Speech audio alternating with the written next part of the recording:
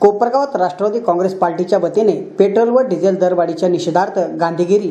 मागील काही दिवसांपासून पेट्रोल डिझेल व घरगुती स्वयंपाकासाठी लागणारे गॅस सिलेंडरचे दर सातत्याने वाढत असून त्या निषेधार्थ सोमवार दिनांक सतरा मे दोन हजार एकवीस रोजी राष्ट्रवादी काँग्रेसचे आमदार आशुतोष काळे यांच्या मार्गदर्शनाखाली राष्ट्रवादी युवक काँग्रेसच्या वतीने कोपरगाव येथे पेट्रोल पंपापर्यंत दुचाकी ढकलून नेत पेट्रोल पंपावर पेट्रोल देणाऱ्या सेल्समनला गुलाब पुष्प देऊन गांधीगिरी करत निषेध आंदोलन करण्यात आले. पेट्रोल डिझेलचे दरवाढ हे दिवसेंदिवस वाढत चाललेले आहे. आणि एकीकडे लॉकडाऊन आहे कोरोनाचे सावट आहे अशातच नागरिकांचे दैनंदिन जे गरज आहे त्यातच ते भागत नाही आणि त्यात हे जर भाव वाढत असेल तर नागरिकांच्या खिशावर त्याचा नक्कीच परिणाम होणार आहे.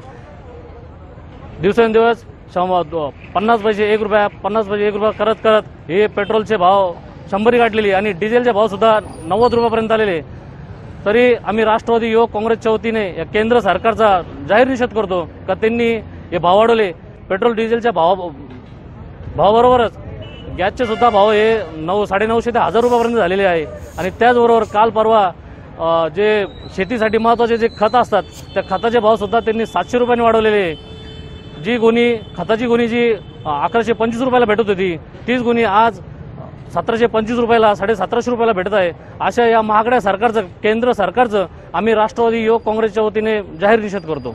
आज कशा स्वरूपाचं आंदोलन या पेट्रोल पंपवर करण्यात आले आज आम्ही केंद्र सरकारचा निषेध म्हणून आमच्या गाड्या लोटत लोटत इथं पेट्रोल पंपावर आणले आणि इथले जे कर्मचारी आहे पेट्रोल पंपाचे त्या सर्व कर्मचाऱ्यांना आम्ही गुलाबपुष्प दिले. या प्रसंगी शहराध्यक्ष सुनील गंगुले युवक शहराध्यक्ष नवाज कुरेशी वाल्मिक लहिरे आकाश डागा संदीप सावतडकर बाला गंगुले महेश उदावंत संतोष दळवी ऋषिकेश खैरनार पप्पू गोसावी विकी जोशी सचिन कुडके शुभम शिंदे आदी मान्यवरांसह राष्ट्रवादी काँग्रेस पक्षाचे कार्यकर्ते कोरोनाच्या पार्श्वभूमीवर सोशल डिस्टन्सिंग ठेवून उपस्थित होते.